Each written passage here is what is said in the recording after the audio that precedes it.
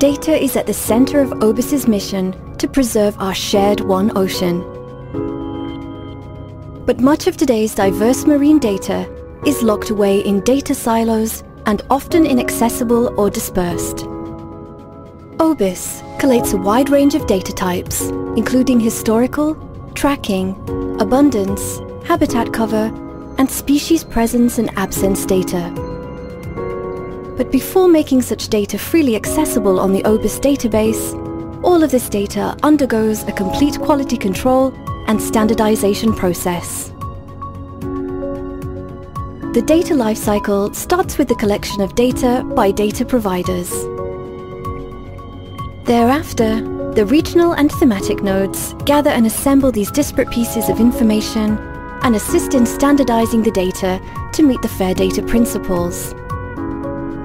The now reliable data is integrated into the OBIS database and made available online. This means the end user can remotely extract data based on species name, geographic location, depth or time. OBIS provides easy access to high-quality, standardized data, facilitating the connection between people and the marine environment.